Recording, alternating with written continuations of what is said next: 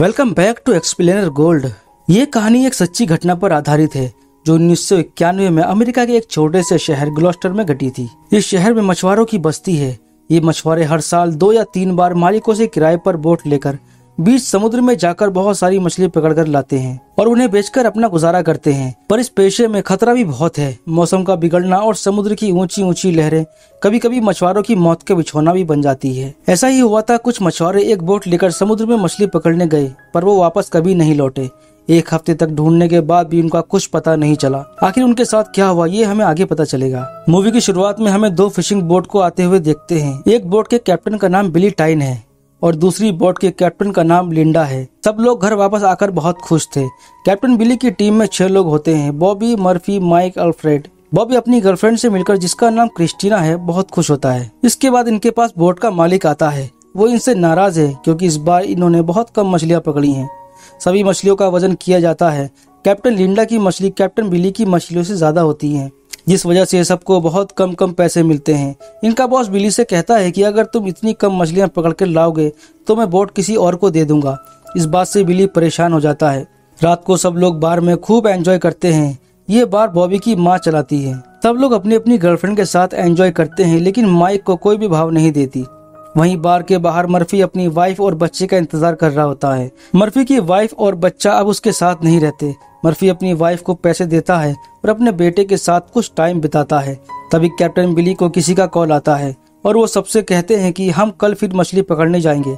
इस पर सब लोग कहते हैं कि अभी तो हम आए हैं। हमें थोड़ा वक्त चाहिए, लेकिन कैप्टन बिली कहते हैं कि अगर तुम नहीं चलोगे तो मैं किसी और को साथ लेकर चला जाऊँगा। क्योंकि कैप्टन खुद को साबित करना चाहते हैं कि वो एक अच्छे कैप्टन है। सब लोग उनकी बात मान जाते हैं, लेकिन बॉबी की गर्लफ्रेंड इससे नाराज़ होती है। तो बॉबी उसे समझाता है, क्योंकि उन्हें पैसों की बहुत ज़रूरत है। रात को मर्फी अपने बेटे को उसके घर छोड़ देता है, और वो बहुत भावुक हो जाता है, क्योंकि उसकी वाइफ दूसरी शादी करने वाली है। अगली सुबह सब लोग खाने पीने का सामान बोट में रख देते हैं, और तभी कैप्टन बिली के पास कैप्टन लिंडा आती है। वो बिली से पूछती है कि क्या तुम फिर से जा रहे हो? क्योंकि अभी अभी तो तुम आए हो। इस पर बिली उससे कहता है कि मैं खुद को साबित करना चाहता हूँ। मैं इतनी मछली पकड़ना चाहता हूँ जितनी किसी ने कभी नहीं पकड़ी हो। अब बिली डेविड के पास जाता है, क्योंकि बिली का एक आदमी काम छोड़कर चला गया है। डेविड उसके साथ जाने को तैयार हो जाता है। अब सब लोग बार में आ जाते हैं, जहाँ डेविड की मुलाकात मर्फी से होती है। डेविड और मर्फी में कभी नहीं बनती। वो दोनों झगड़ा करते हैं, लेकिन बॉबी की माँ उन्हें समझा देती है। अब वो वक्त आ जाता है जब इनको अपने सफ़र पर निकलना है। सब लोग एक दूसरे को अलविदा कहते हैं और अपने सफ़र पर निकल जाते हैं। बोट में खाने पीने का सामान सेट कर दिया जाता है। कैप्टन बिली बोट के इंजन को अच्छे से चेक करते हैं। माइक बर्फ़ बनाने वाली मशीन को चालू कर देता है, जिससे काफ़ी सारा बर्फ़ बनता है। इसके बाद बॉबी कैप्टन बिली के पास जाता है और उनसे उनकी फैमिली के बारे में पूछता है। कैप्टन बताते हैं कि उनकी एक फैमिली है जो फ्लोरिडा में रहती है, पर कैप्टन को फिशिंग करना बहुत पसंद था, इसलिए वो अपनी फैमिली से दूर हो गए। दो दिन गुजरने के बाद वो लोग सेबल आइलैंड तक पहुँच जाते हैं। वहीं दूसरी तरफ़ हम एक टूरिस्ट बोट को देखते हैं। जो बरमुडा की तरफ़ जा रही थी। कैप्टन अपनी boat the Grand Bank Sable Island से 342 माइल से दूर ईस्ट में ले आते हैं। वहाँ वो मछली पकड़ने का फैसला करते हैं। ये सुनकर सारे साथी बहुत खुश हो जाते हैं। एक एक करके वो सभी कांटे पानी में फेंक देते हैं। रात को मर्फी और डेविड में फिर से झगड़ा हो जाता है, तभी कैप्टन इनको शांत कराते हैं। सुबह होते ही सब लोग मछली वाले कांटे को चेक करते हैं, कोई मछली फंसी है या नहीं। और तभी उन्हें कुछ मछलियाँ मिलती हैं, जिससे सब बहुत खुश हो जाते हैं।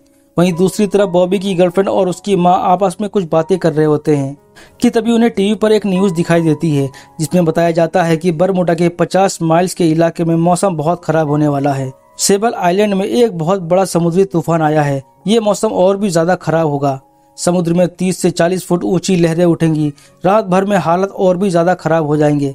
वहीं दूसरी तरफ़ हम कैप्टन बिल्ली की बोट को देखते हैं, जहाँ सब लोग काफ़ी दुखी थे, क्योंकि जितनी मछली इनको चाहिए थी, उतनी इन्हें अभी तक नहीं मिली थी। सब लोग इस बारे में कैप्टन से बात करना चाहते थे, लेकिन कैप्टन से कौन बात करेगा, इसकी हिम्मत किसी में भी नहीं होती।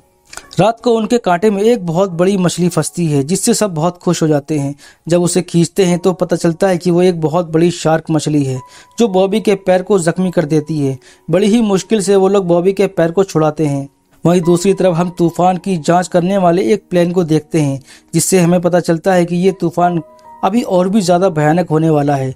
इधर सब लोग खाना खाते हुए आपस में बातें करते हैं कि हमारे कैप्टन में अब वो बात नहीं रही, क्योंकि अभी तक इन्होंने उम्मीद से बहुत कम मछलियाँ पकड़ी हैं, जिससे इन्हें कुछ फ़ायदा नहीं होगा।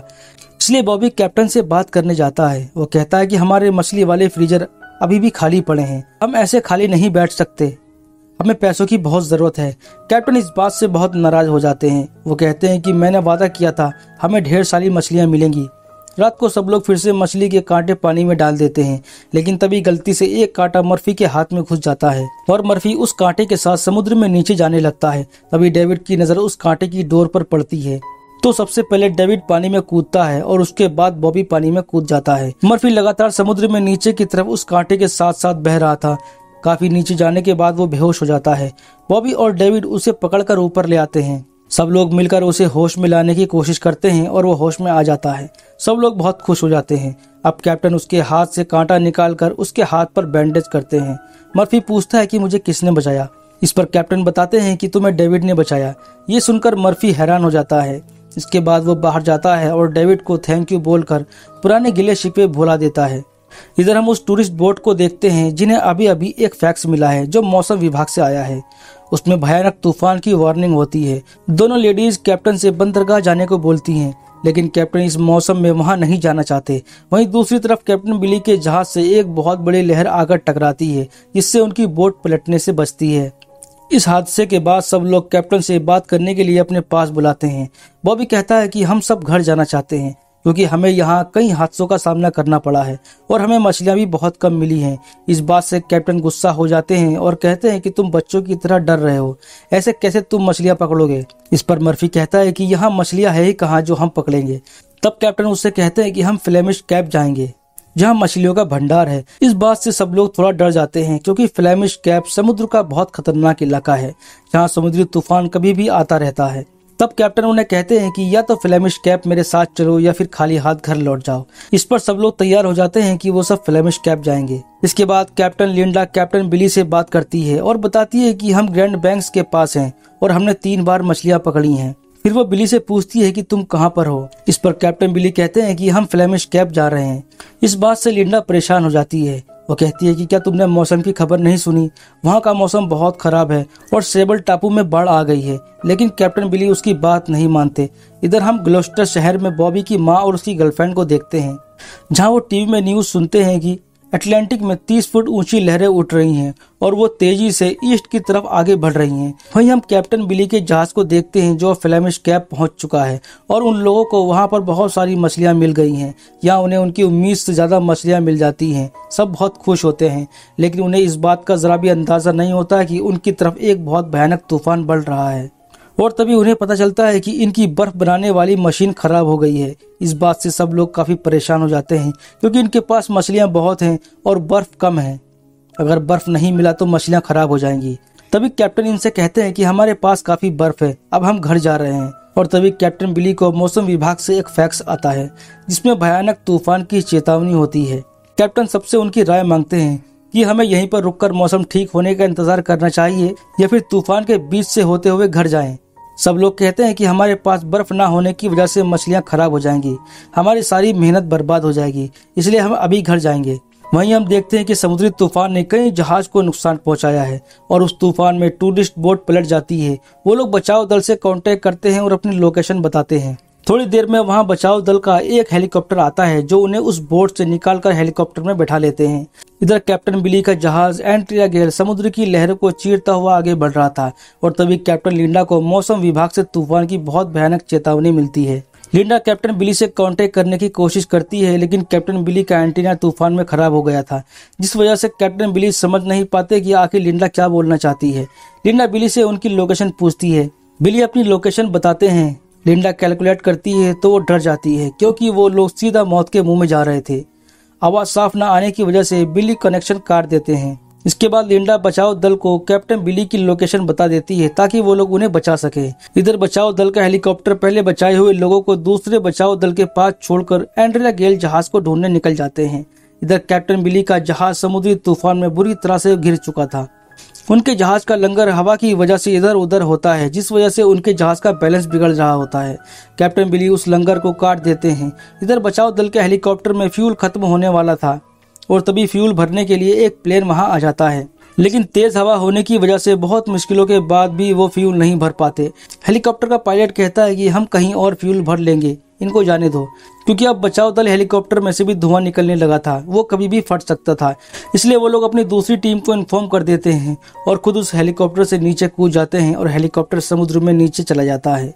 इधर एंट्रिया गेल जहाज़ पर कैप्टन बिली भी अब हार मान जाते हैं। वो समझ जाते हैं कि अब वो आगे नहीं बढ़ सकते। इसलिए वो वापस पीछे जाने का फैसला करते हैं। इस पर माइक कहता है कि हम मछलियों का क्या करेंगे? तो कैप्टन कहते हैं कि समुद्र का यह हिस्सा हमारा है। हम अगली बार इतनी सारी मछली पकड़ेंगे कि दुनिया देखती रह जाएगी। इसके बाद वो जहाज़ को मोड़ने का फैसला करते हैं। अब यहाँ सबको उनकी मौत बिल्कुल सामने दिखाई दे रही थी। वहीं दूसरी तरफ़ हम एंड्रिया गेल जहाज़ के मालिक को देखते हैं, जो बार में जाकर सबको ये खबर देता है कि एंड्रिया गेल जहाज़ के लोगों को बचाने वाले बचाओ दल अब उन्हें नहीं बचा सकते। ये सुनकर वहाँ बैठे सब लोग बहुत दुखी हो जाते हैं। ये लोग जहाज़ को मोड़ लेते हैं, लेकिन इनका आगे का सफ़र और भी ज़्यादा खतरनाक होने वाला है। क्योंकि इनके सामने समुद्र की एक बहुत बड़ी लहर आ रही है, जो इनके जहाज़ को पूरी तरह पलट देती है और इनके जहाज़ में पानी भरने लगता है। बॉबी कैप्टन से पूछता है कि अब हम क्या करें? इस पर कैप्टन कहते हैं कि मैं खुद नहीं जानता कि हमें क्या करना चाहिए। अब ये सब समझ जाते हैं कि इनका बचना अब नामुमकिन है। कैप्टन अपनी गलती के लिए माफ़ी मांगते हैं। कैप्टन बॉबी को जहाज़ से बाहर भेज देते हैं और खुद अंदर ही रह जाते हैं, क्योंकि वो जानते हैं कि अब उन्हें कोई नहीं बचा सकता। बॉबी जब ऊपर आकर देखता है तो समुद्र की ऊँची ऊँची लहरों देखकर समझ जाता है कि अब वो अपने लोगों से कभी नहीं मिल पाएँगे। एंट्रिया गेल जहाज़ समुद्र की गोद में समा जाता है और बॉबी अपनी गर्लफ्रेंड क्रिस्टीना को याद करते हुए उदास हो जाता है और अपने प्यार का इजहार करता है। अब एक बहुत ऊँची लहर आती है, जो बॉबी को अपने साथ लेकर चली जाती है। अब हमें एक हफ़्ते बाद का सीन दिखाया जाता है। जहाँ छह हेलीकॉप्टर एक हफ़्ते से लगातार उस भयानक तूफ़ान की चपेट में आए लोगों को ढूंढ रहे थे, लेकिन उनकी सारी कोशिश नाकाम रही। इसके बाद चर्च में उन सभी लोगों को श्रद्धांजलि दी जाती है, जिन्होंने उस भयानक तूफ़ान में अपनी जान खो दी थी। मूवी के एंड में कैप्टन लिंडा अपनी मछली पकड़ने वाली बोट लेकर समुद्र में चली जाती है, और वह कैप्टन बिली को बहुत मिस करती है, और ये सच्ची कहानी पर बनी मूवी यहीं पर खत्म हो जाती है।